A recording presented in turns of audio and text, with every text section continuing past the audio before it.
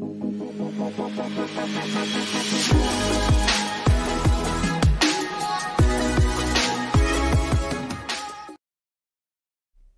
أعجبك الفيديو يرجى عمل like و share وتفعيل الجرس.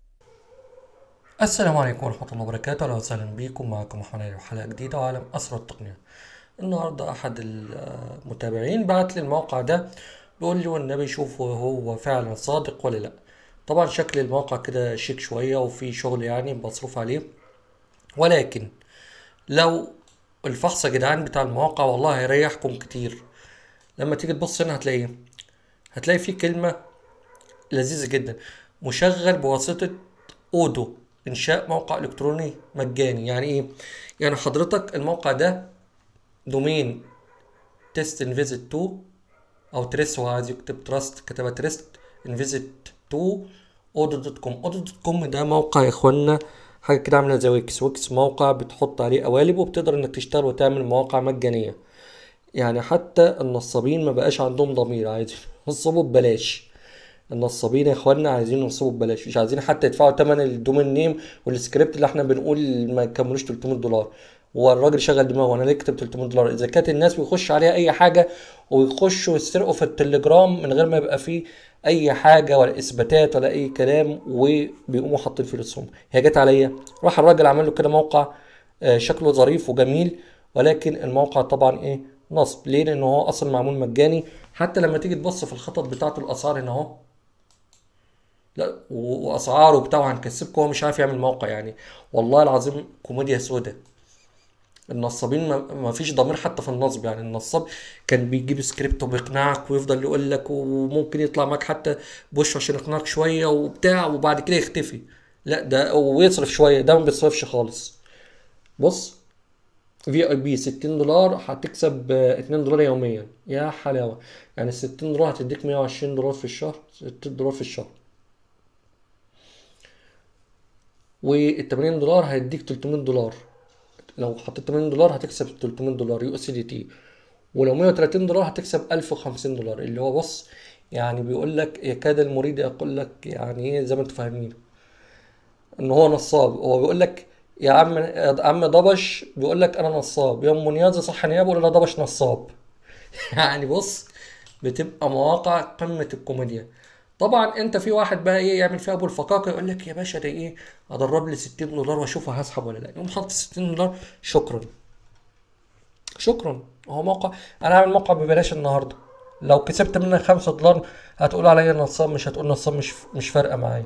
وأنا خسران حاجة. وأنا دفعت حاجة. ف ده برضو من ضمن الكوميديا. خلوا بالكم على فلوسكم آه، فحص الموقع ال domain كل الكلام ده كله. هيريحكم والله. لما تبقى فاهم الموقع ده جاي منين ومعمول إزاي وإيه ال business model وفعلا بيكسب ولا لأ هترتاح. هو بيقول لك هنستثمر خطة استثمارية ما كاتبش هتستثمر في إيه ولا في أي حاجة. الراجل إيه؟ مريح دماغه حاطط لك الخطط والدفع بالشبكة TRC وحاطط لك المحفظة بتاعته عشان إيه؟ آه، يكمل النصباية بتاعته. واخدين بالكم؟ حتى هنا بص نشوف عمل إنستجرام ولا لأ. لا والله. ما عملش. الراجل مش عامل انستجرام يا عيني. مع انه ببلاش برضه مش عارف ما عملوش ليه. فده موقع من ضمن المواقع عشان ما زالت الناس بتسعى إنها تعوض إنها تخش. يقول لك يمكن ألاقي موقع مثلا اشتغل خمس ست شهور اعمل لي منه نص مليون جنيه. طبعا الاحلام دي أحلام الأعصار. نرجع نقول لكم يا اخوانا يا اخوانا الحاجة دي أنت بتخش مش عارف. ممكن تخش في موقع تفتكر إنه هيكمل ست شهور يقوم مبقلشك بعد 15 يوم. ممكن تخش موقع تفتكر إنه هيقعد 15 يوم تلاقيه بقلشك بعد أسبوع. ممكن تخش موقع إيه تفتكر إنه هينصب بعد أسبوع توصل تلاقيه يكمل ست شهور. ملهاش قاعدة. ملهاش قاعدة. ولكن. في بتبقى حاجات علامات معينة كده الواحد بيبقى عارفها ممكن يقول لك آه الموقع ده ممكن يطول سنة بس إيه لا، أغلب الحاجات ما تقدرش إنك أنت حتى لو عارف إن الموقع, ممكن يطول ما أقدرش ان أقول لك. لكن يوم ما هقول لك إن الموقع هيطول هتخش تحط فلوسك وتقوم خسرانة وتيجي بعد كده تصرخ تقول ده أحمد علي قال إن الموقع هيطول. وغلطت فيها الغلطة دي قبل كده شرحت موقع قلت إنه هيطول ما طولش. لأنه كان داخل عن طريق موقع كان بيعمل زي ما بيقولوا تأمين. كان دافع تأمين عالي. فأنا قلت طالما دفع تأمين يبقى هيطول قبل ما يلم الفلوس. وما طولش. فملهاش قاعدة. ففي مثل تاني بيقول لك إيه؟ الوقاية خير من العلاج. أنت بدل ما تخش وتنصب عليك عندك فلوس حطها في مشروع. عندك فلوس حطها في آه في شوية بضاعة بيعهم على الإنترنت. عندك فلوس اعمل محتوى اتعلم بيهم كورسات تعمل آه تطبيقات أو حاجة وتشتغل بيها. غير كده آه موضوع إنك أنت ال- المواقع النصب دي انسى. حتى المواقع حتى لو موقع مأمون مية في المية يعني حتى لو موقع حكومي الموقع ده ممكن يتهكر وفلوسك برضه تروح. شفت وصلت لفين يعني بقولك حتى لو موقع حكومي ممكن الموقع ده يقع وتحصل مصيبة فيه وفلوسك تضيع.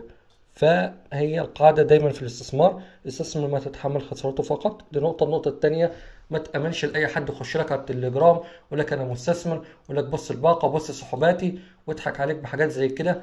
إنك أنت ممكن تقع فيها الموقع غير آمن غير آه يعني بقول لك حتى نصاب مش مش تعب نفسه عشان يحط فلوس ويعرف يعمل حاجة تقنع الناس إنه ينصب عليهم. آه لا حول ولا قوة إلا بالله. أستغفر الله لي ولكم والحمد لله على كل حال. وأشوفكم إن شاء الله في حلقة جديدة. والسلام عليكم ورحمة الله وبركاته.